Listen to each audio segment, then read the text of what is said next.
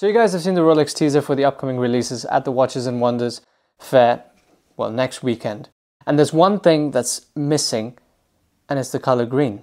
Over the last five years, we've had an explosion of green in watches. Just as Rolex ended the production of the Hulk, green as a theme came back strong.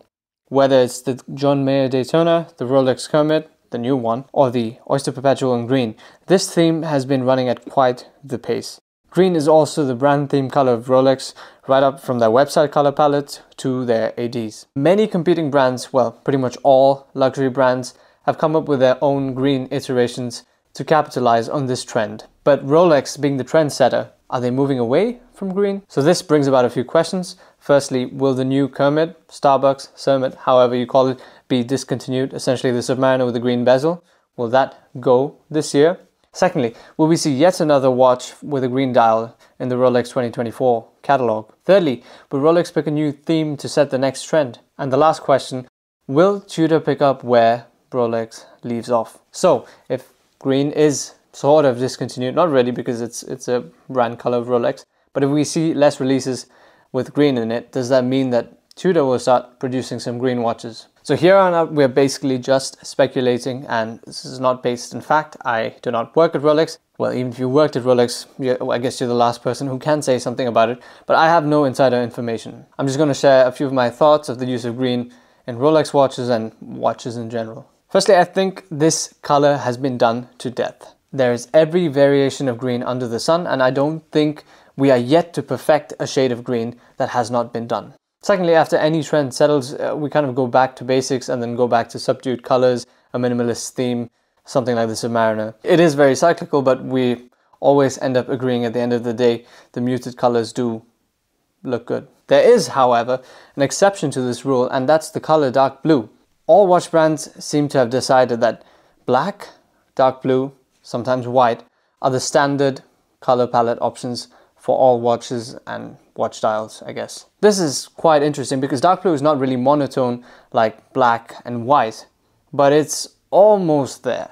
And it's kind of been adopted as the new, I guess the new black in terms of watch dial combinations and the values they hold. The dark blue one always is favored. So this brings about the question, are we going to see an addition, a fourth color to this typical color palette of dark green? Is dark green going to be the next standard color that everyone wants along with dark blue, black and white? There is a possibility, but I think it's rather unlikely and I wouldn't bet on it, but it would be quite cool to see. I just think not everyone agrees that dark green fits in as well as dark blue. So let's answer the main questions. The first one, will the Cermit, Starbucks, New Kermit be discontinued? I think there's a high possibility and I would say four years is not a long production run, but they're really not discontinuing a model. They're just swapping out a bezel color. So really easy to do and it doesn't really take away from the watch or cost the brand anything. And I guess it makes more sense to discontinue it while it's still popular rather than wait for the, the attention to fizzle out. So most likely I'd say yeah. If I'm wrong, I'm wrong. This is just fun. So on to the next question. Will we see another green release from Rolex in 2024?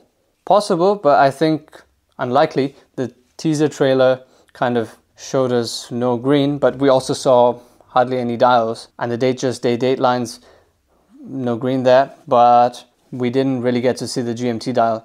Most likely it's a red. It's probably the Coke, what everyone's speculating. But they might surprise us and uh, have a green right-handed GMT Master. Essentially the, the one that exists, but not the Destro version. Although I do think that's unlikely. I think there's a good chance that we see some variation of red, either in terms of orange or in terms of maroon, both ends of the spectrum. And the possibility of the Coke is ever looming. We're just waiting on that. That's that is definitely happening sometime, hopefully this year. Third question, will Rolex pick a new theme to set the next trend? That is a new color and introduce that in a lot of ranges? I think not. I don't think Rolex would just start cycling through all the colors. That would get too predictable and too boring and I guess the hype would subside if people knew they could just wait for the next iteration to get the color they want. So I don't think we're following that anymore. If there is a new theme, I think it's back to the minimalist stuff. Submariner styled subdued colors. Lastly, will Tudor pick up the green? I think there's a large possibility of us seeing a Black Bay 58 with some green in it. Now Tudor's had the Harrods, which was the Black Bay 41. It's it's quite an old watch now. And then they did have the Black Bay 58, which was solid gold with a green dial. I wouldn't really count that. I don't think I'm missing any Tudor green watch. So these two, to me, that's just it. And that's kind of insufficient with consideration to how much green means to Rolex as a brand. Now, does that mean that they want to reserve the color for Rolex itself? I don't think so because we did see the Pepsi combination on the Tudor Black Bay GMTs. So it would be cool to see a Black Bay 58 with a green bezel or a green dial.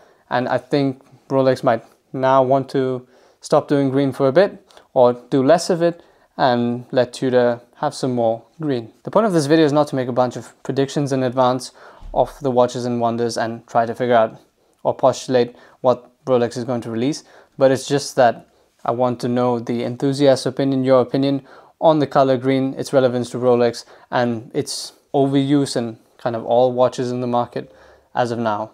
I want to know that now in advance because opinions really tend to flip flop as soon as Rolex actually launches their watches.